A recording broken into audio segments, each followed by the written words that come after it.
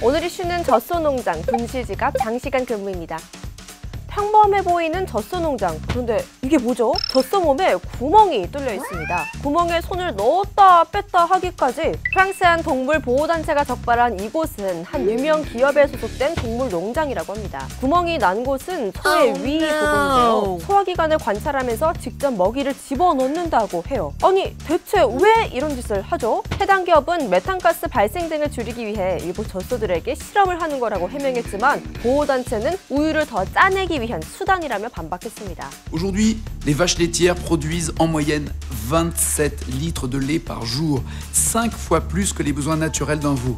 Certains souffrent de troubles digestifs.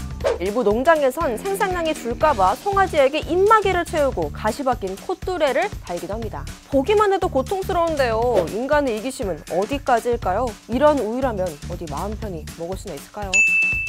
글로벌 양심 테스트 잃어버린 지갑 실험이 열렸습니다. 세계 40개국 355개 도시의 공공기관 등에서 이거 누가 잃어버린 지갑이에요 하면서 지갑을 건네고요. 100일 이내에 주인에게 회수 연락이 갔는지 관찰했어요. 자, 돈이 들어있지 않은 지갑 13.45달러 같은 지갑, 94.15달러 같은 지갑이 있습니다. 여러분이라면 어떨 것 같으세요? 돈이 많이 들어있으면 더 갖고 싶지 않을까요? 노노. 결과는 정반대였습니다. 더 많은 돈이 들어있을수록 지갑을 돌려주는 비율이 더 높아졌어요. 아직 살만한 세상인 건가요?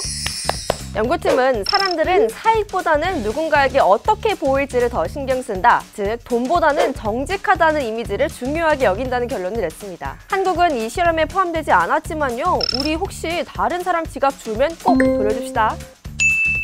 출근해서 열심히 일하다 보면 어느새 훅 흘러버린 시간. 업무량이 많으면 어쩔 수 없이 야근을 해야죠. no. 이렇게 하루 10시간 이상 일하는 사람이라면 주목할 만한 소식이 있습니다. 프랑스 국립보건의학연구팀에서 근무 시간과 심혈관 질환 발병률의 연관성을 분석했는데요. 10시간 이상 근무한 날이 1년에 50일 이상인 사람은 뇌졸중 위험이 29% 커졌고요. 10년 동안 이런 식으로 계속 일하면 무려 45%까지 높아졌습니다. 장시간 동안 근무를 하면 신체 활동량도 떨어지고 스트레스에 노출되는 시간도 많아지기 때문이죠. 나이가 많은 연령층보다 50세 이하에서 발생 가능성이 더 높게 나타났어요. 뇌졸중은 겨울철에 더 많은 걸로 알려졌지만요. 사실 땀이 많이 나는 여름에도 조심해요. 탈수로 몸속 수분량이 줄면 혈전이 생기기 쉽고 혈전이 혈관을 막아 뇌졸중을 유발하기 때문입니다. 그런 만큼 최소 1.5리터 이상의 물을 충분히 마셔주는 게 필요하고요. 틈틈이 스트레칭으로 운동량을 늘려주는 것도 좋습니다. 생각난 김에 한번 해볼까요?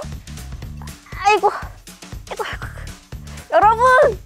구독과 좋아요 잊지 마시고요. 스트레칭하면서 월요병 타파합시다. 안녕! 이거 괜찮아요?